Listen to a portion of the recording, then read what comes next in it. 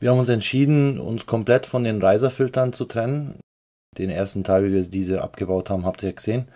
Und das war jetzt der zweite Teil hier, dass wir ähm, die Filter noch vorher äh, praktisch auch wieder Hauseingangsfilter abbauen. Und äh, wir zeigen auch dabei, wie wir aus unserer Sicht äh, sinnvollere Aquafor-Filter, Hauseingangsfilter Viking eingebaut werden sollte.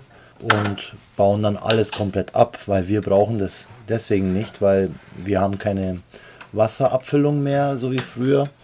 Und der einzige Filter, den wir brauchen, ist der Aquafor Untertischfilter K7B und der ist sowieso vor allem anderen hier im Wasserraum.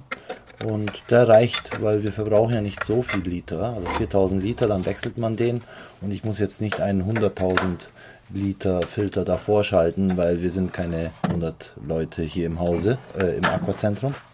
Äh, das waren ja nur unsere Filter praktisch.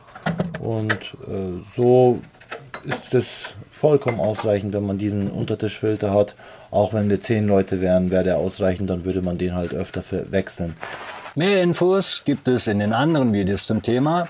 Für mehr Tipps und Tricks abonniere den Kanal, schreibt Fragen bitte unten in die Kommentare.